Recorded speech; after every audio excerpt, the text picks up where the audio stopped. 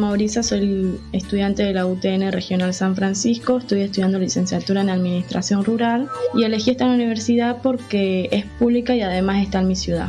En cuanto a las clases presenciales o virtuales, yo elegiría ambas porque hay estudiantes por motivos de trabajo o por otros motivos que no podrían concurrir a, a las clases. Cuando me reciba yo me veo trabajando en algún trabajo relacionado con esta carrera. Eh, a este 2021 eh, yo espero poder empezar las clases presenciales y poder formar un buen grupo de compañeros y profesores. Hola, soy estudiante de la carrera de Ingeniería Forestal que se encuentra en la Universidad Nacional de Santiago del Estero.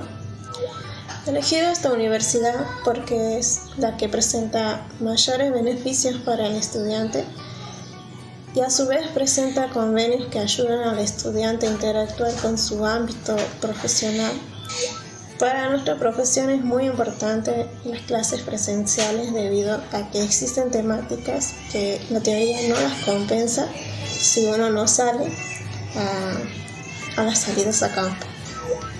A futuro me gustaría trabajar en lo que son proyectos de investigaciones.